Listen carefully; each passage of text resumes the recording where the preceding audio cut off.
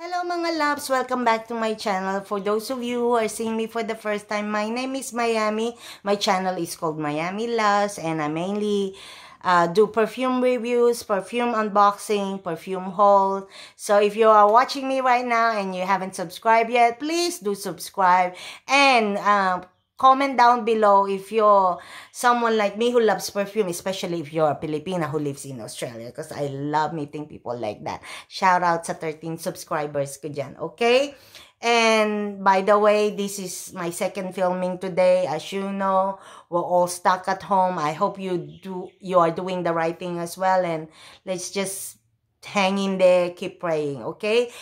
Like I said, this is my second filming today, and we're gonna continue with with our one review, one unboxing. That means one perfume review, one unboxing of perfume. Okay, and the perfume that we're gonna review for this video is Jimmy Choo by Jimmy Choo. It's the one the bottle that I have here is a hundred ml bottle in eau de parfum concentration. The box is just like this. I, I showed it to you before it's bulky, but I like the feel. It, it feels like a snake skin.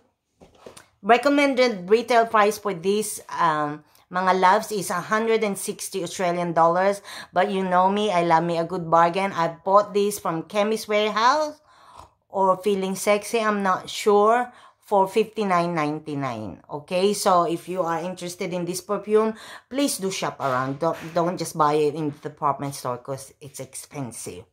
Main accord is sweet, sweet patchouli, patchouli, fruity, warm, spicy, floral, green. Top notes is mandarin orange, pear, green notes. Middle notes is orchid, base notes is toffee, patchouli. Okay, mga besh, this perfume was launched in 2011. When this was launched, I think the very same year when it was launched, launch, launch, when it was launched, I did try this perfume.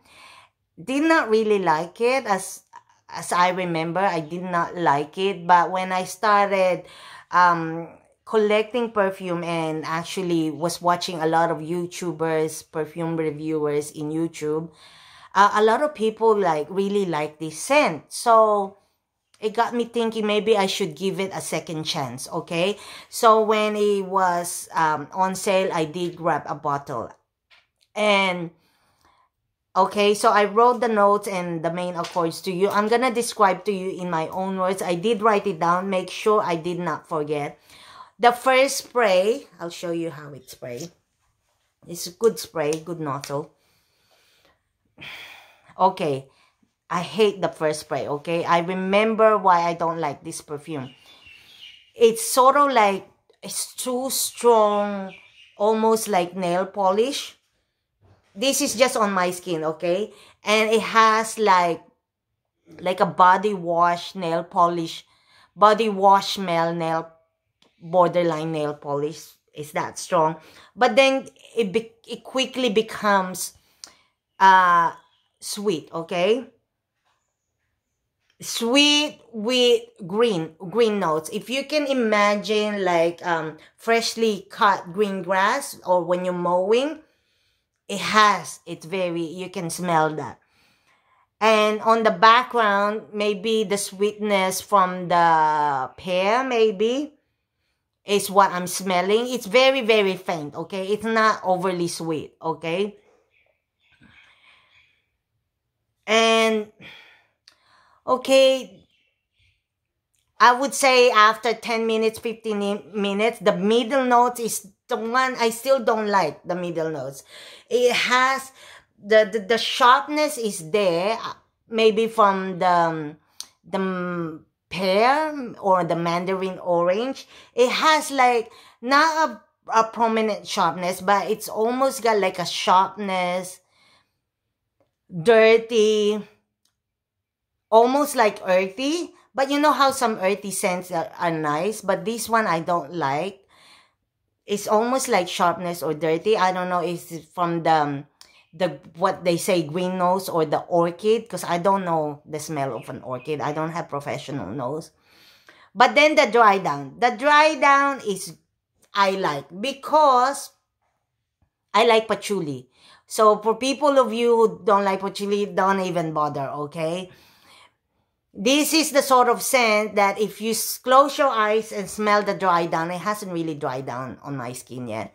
But if you, when I did test it out, okay, on the dry down, I, I closed my eyes and it said, I smell something very familiar. And you know what it is?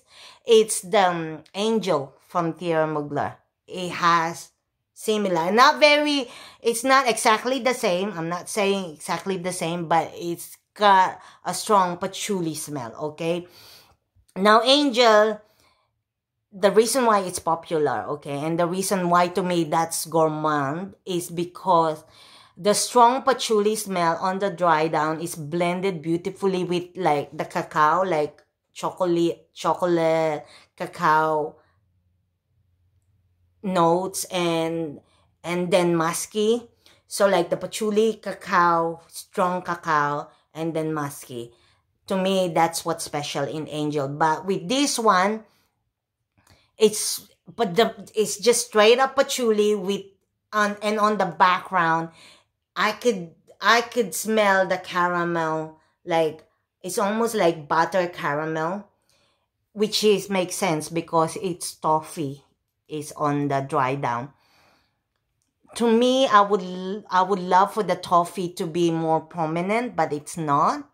But i did hear uh, i watch a youtuber saying that in the in the heat during the summer these scents perform differently okay? So i'm gonna wait till next summer and i'm gonna test this out again because she did say on during the heat the the freshness of the pear is more predominant during the top notes during the the first spray which I like. And on the middle notes maybe I would like for the pear to come through more. And then during the dry down the toffee is more it's louder. Side by side with the patchouli. Because at the moment when I did try it out I just all I can smell is patchouli with a little bit of toffee in the background, which it's nice. I mean, because I love patchouli. I don't mind patchouli. Okay? This is the reason why I think a lot of people like this is because it performs good. Like longevity is, I'd say 8 to 10 hours because I did work long shift. I did work 8 hours and I can still smell it. Projection is above average. I did get compliment from my coworkers and sillage is average, okay? And because the sillage is average and the projection is good and longevity is good, this, it makes it a good signature perfume, okay? During the day, if you work in an office or you want a signature perfume, signature, signature perfume during the day, this would be a good scent for you. Okay, there you go mga loves. I hope you like my review of Jimmy Choo by Jimmy Choo eau de parfum. On to the unboxing, okay? And we're gonna unbox Zadig and Voltaire. This is her EDP 100 ml. I'm not sure how much I got this. I think I wrote it down.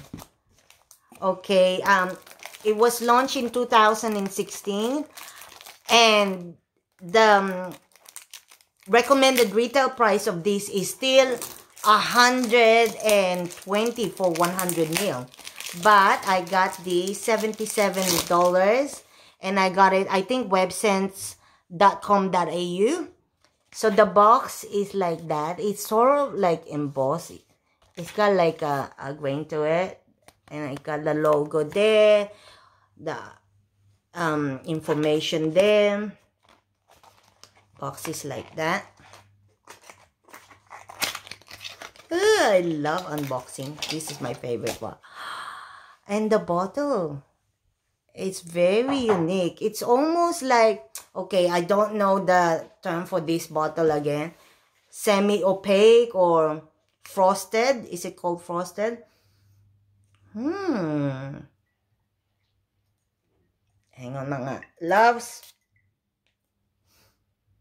Ooh, different. Okay, main accord is sweet vanilla woody milky powdery. It has, it is milky. I can, it, that's very obvious right away. And um, I read I, I was intrigued by this um perfume because someone said it has a good balance of cleanliness and mysteriousness. So I'm excited to review this perfume for you. And if you want to try, if you want me to review this right away, please comment down below. And I will review this right away for you, okay? Hmm, very different this perfume, okay? There you go mga mga loves. I hope you like my review of Zadig Zadig Zadig and Voltaire. This is her EDP and Jimmy Choo by Jimmy Choo EDP. Keep safe mga loves and subscribe sa mga hindi pa nakasubscribe. I'll see you next video. Bye!